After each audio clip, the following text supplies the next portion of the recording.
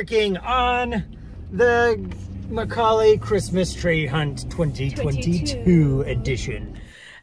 I've been able to spend some uh, extra time with my family um, during this already planned off season. went into the forest to cut down our Christmas tree like we do every single November during my off season. Normally we have snow up there so we can sled down the hill with our tree and it's a lot of fun. But this year we just hiked up and back down the hill.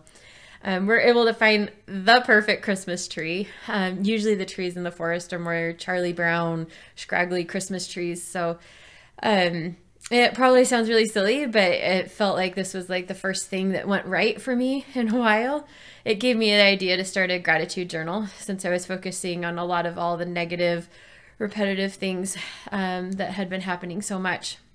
I'll probably make a video about that um, later because I've used gratitude a lot in um, tough times to help me in the past. Um, hiking, though, um, to get the tree showed that my pain had decreased a lot.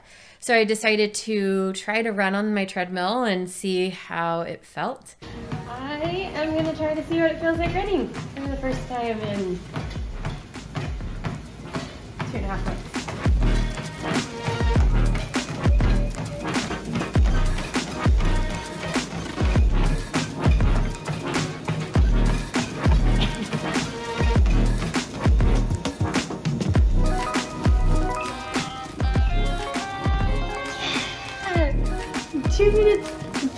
Seconds. 0.1 miles. Feels okay. It just also feels awkward. Because I haven't run on it in forever. Yeah.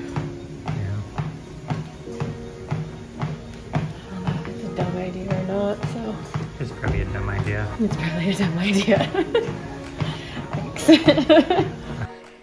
yeah, that was a really dumb idea, but it at least reinforced um, that I need to get all of this done and not try to put it off for, you know, until the next, um, uh, at the end of next season.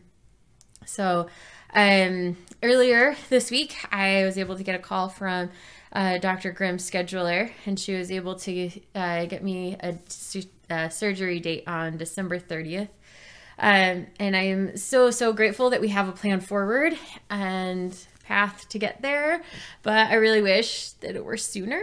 Um, we could get surgery as soon as December 19th um, because of the COVID dating um, 30 days. I can't have surgery for 30 days after a COVID positive test um, for concerns of blood clots um, and complications, not for concerns of um, the doctors. But um, so after Dr. Grimm's surgery on the 30th, we're going to go get um, Dr. Williams to repair the hernia on the 9th.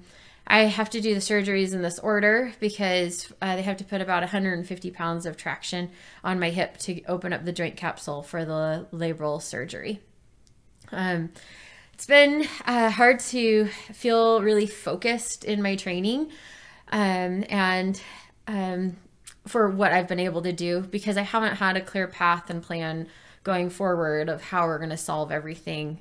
I've done a ton of aerobic riding and easy swimming, um, but this past week I've decided to start some focus training um, with my coach. Um, so this week I'm doing about 14 to 15 hours of riding and about 27,000 yards of swimming.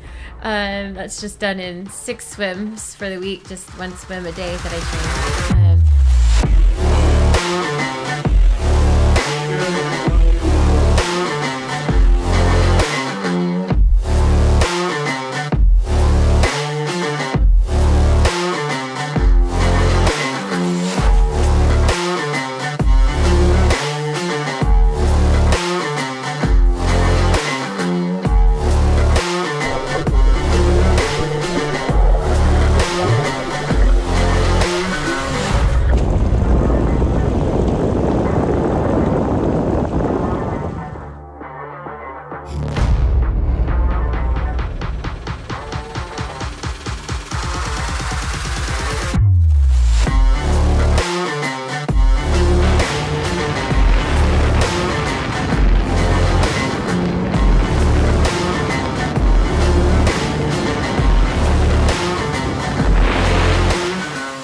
About three weeks until surgery date. So I'm going to slowly increase my training as my body allows until December 30th and kind of use that date as like a, a peak date for uh, another bonus off season that I'm going to have after after that. So I am so grateful that we have surgery in the books. I'm grateful for all the amazing outpouring of love and prayers that I've received from all of y'all. I'm grateful that I have a very clear direction and path forward. And I'm grateful that I am going to be able to be out there smashing it in 2023. Um, I just wanted to say what are see what are some of the things that you've found um, helpful through hard times that you've had yourself and put in the comments. Thanks.